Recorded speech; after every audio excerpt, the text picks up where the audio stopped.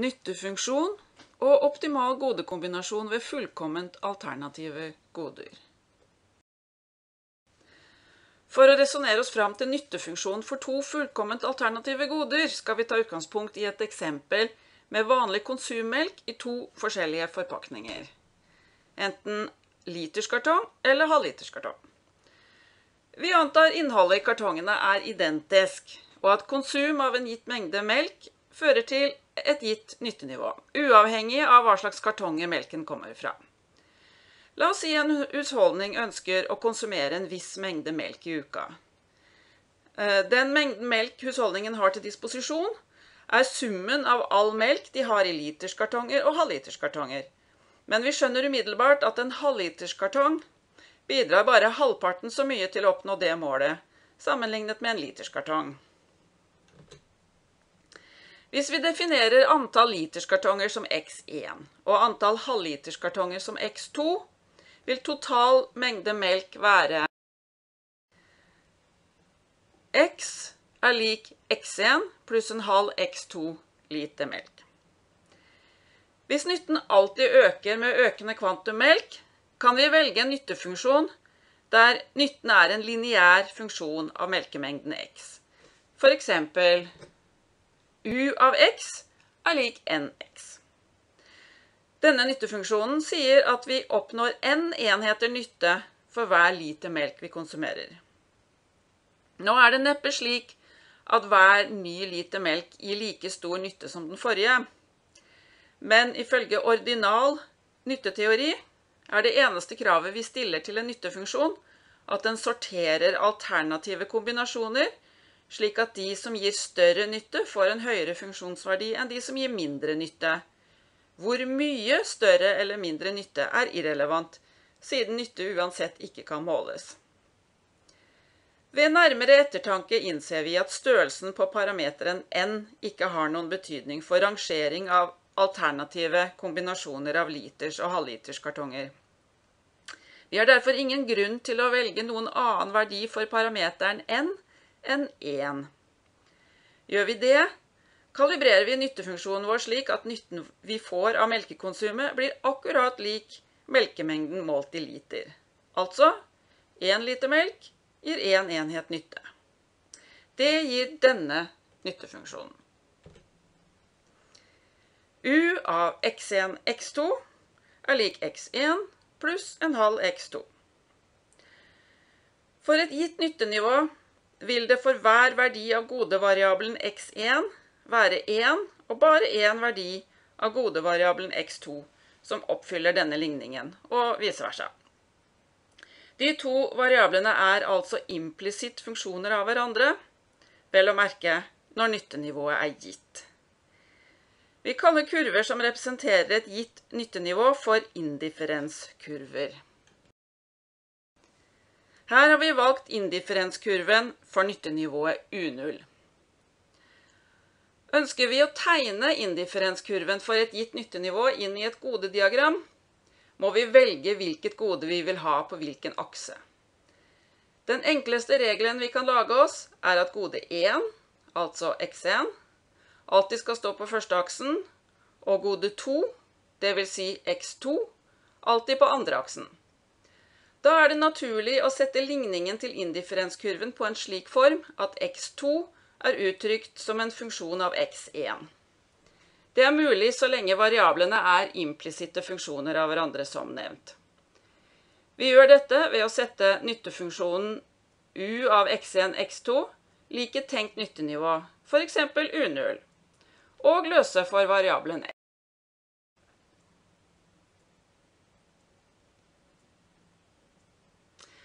Her har vi løst nyttefunksjonen ved nyttenivået U0 for godevariabelen x2 ved å flytte leddet x1 på høyre side av likhetstegnet og multiplisere igjennom med 2.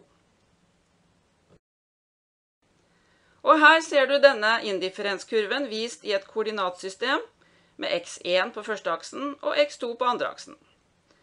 Kurven er en rett linje, og den skjærer andre aksen der x2 er lik 2 U0. Og slik må det være, for når kurven skjærer andre aksen, er jo x1 lik 0. For å finne skjæringspunktet med førsteaksen er det i dette tilfellet enklest å se på utgangspunktet.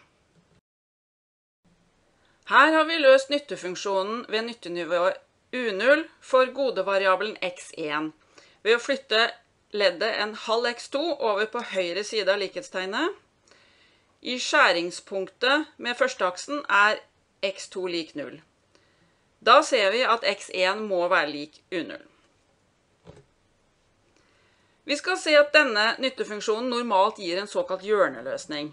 Det vil si en løsning som befinner seg på en av aksene, i et punkt der aksen, indifferenskurven og budsjettlinjen skjærer hverandre samtidig. Det betyr at konsumenten normalt velger bare ett av produktene, og bruker hele budsjettet sitt på det alternativet som gir mest melk for pengene. Før vi kan avgjøre hvor mye vi kjøper av hvert gode, må vi kjenne budsjettbetingelsen. Det som avgjør hvor mye vi kjøper, er prisene på de to godene og tilgjengelig inntekt eller budsjettramme vi bruker på melk. Budsjettbetingelsen ser alltid slik ut.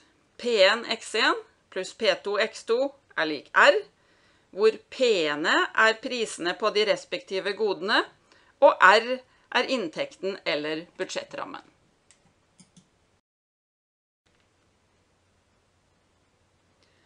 Den røde linjen som dukker opp her, er én mulig budsjettlinje. At den er sammenfallende med andreaksen, betyr at gode 1 er kjempedyrt, så budsjettet rekker ikke til å kjøpe en eneste enhet av gode. Dermed brukes hele budsjettet på gode 2, slik at vi kjøper to U0 enheter av gode 2. At budsjettlinjen ender der x2 er lik 2 U0, betyr at dette er den største mengden av gode 2 budsjettet rekker til.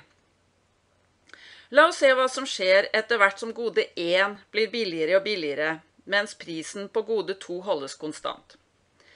Da har vi hele tiden råd til å kjøpe samme mengde av gode to, som hvis vi bruker alle pengene bare på det. Etter hvert som budsjettlinjen blir mindre og mindre bratt, som vi ser, eh, etter hvert som den skifter utover i diagrammet, rekker budsjettet til stadig flere enheter av gode 1.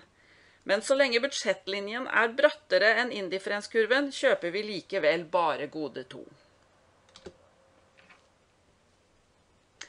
Her er prisen på gode 1 så høy at budsjettlinjen og indifferenskurven er blitt sammenfallende. Alle mulige kombinasjoner av de to godene som ligger på budsjettlinjen er like gode, så nå har vi ingen unik optimal løsning. La oss så ta utgangspunkt i de godeprisene som vi har her, og tenke oss at det er gode 2 som nå blir dyrere og dyrere, mens prisen på gode 1 holdes konstant. Straks budsjettlinjen blir mindre bratt enn indifferenskurven, går vi over til bare å ville kjøpe gode 1. Etter hvert som gode 2 blir dyrere og dyrere, blir budsjettlinjen slakkere og slakkere. Vi ser at i det mest ekstreme tilfellet blir gode 2 så dyrt at vi ikke har råd til en eneste enhet av det. Men det avgjørende er at budsjettlinjen er mindre bratt enn indifferenskurven. Derfor kjøper vi bare gode 1. Merk deg at under hele denne øvelsen har høyeste oppnåelige nyttenivå vært det samme. Optimal løsning har nemlig ligget på indifferenskurven for nyttenivået U0 hele tiden.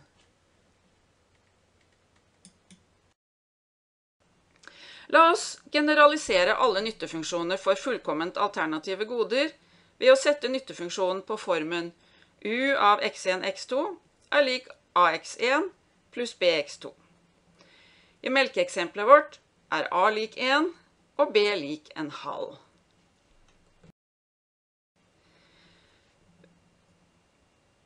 Hvis optimal løsning innebærer at vi bare konsumerer gode 1, slik at x2 er lik 0, blir oppnådd nyttenivå U0 er lik AX1, og konsumert mengde tilfredsstiller P1 X1 er lik R.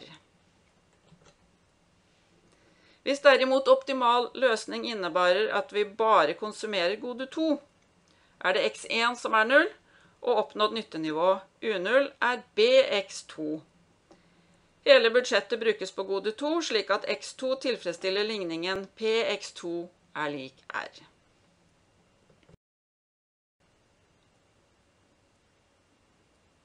Vi kan sammenfatte de to ligningene ved å dividere dem slik vi har gjort her. Her har vi dividert uttrykkene på hver side av likhetstegnet med hverandre, og løst eh, for nytteverdien eh, U0, gitt eh, at gode 1 er det beste valget. Alternativt kunne vi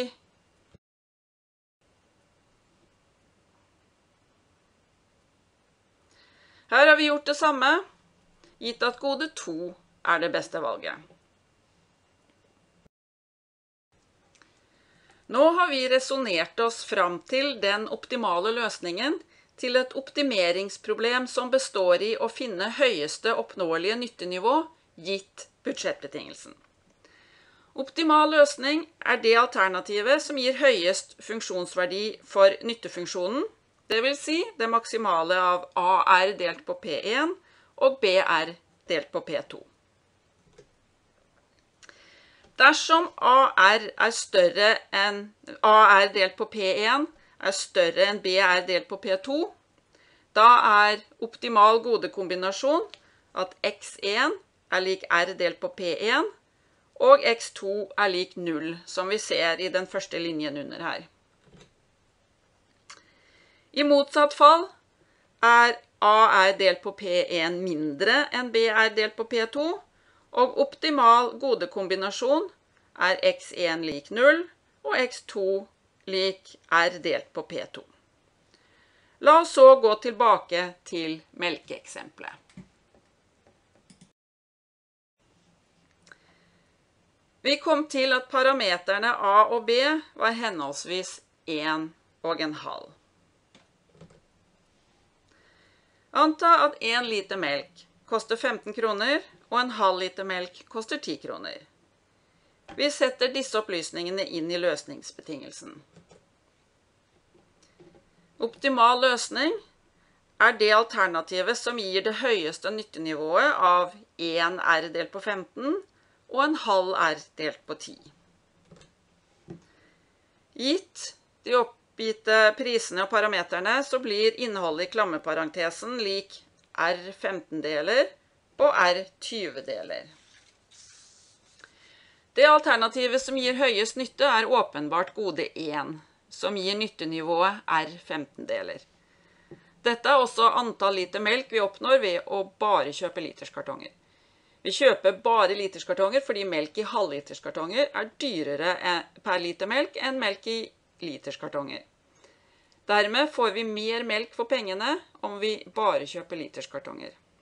Dette er optimal løsning uansett hvor stor budsjettrammen R er. Nytt eksempel. Nå kan vi tenke oss et annet par goder som er substitutter, selv om de kanskje ikke nødvendigvis regnes som like gode. Tenk deg at Thea vurderer å kjøpe bil, og valget står mellom en Opel og en Audi. Mercedes og BMW er utelukket, da de er utenfor hennes budsjettskranke. Det er ikke aktuelt å kjøpe en kombinasjon av begge deler. Det må bli en av det ene eller andre bilmerket. La oss si at Thea vet at en fabrikkny Opel koster 385 000, men vil sjekke hva en Audi koster før hun bestemmer seg. Vi lar Opel være gode 1 og Audi gode 2.